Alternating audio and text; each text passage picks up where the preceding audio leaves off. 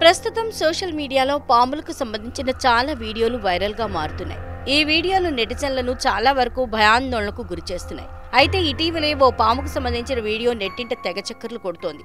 అన్ని పాములు గుడ్లు పెట్టిన తర్వాత పిల్లలకు జన్మనిస్తాయి. అయితే తాజాగా ఓ పాము నేరుగా పిల్లలకే జన్మనిచ్చింది.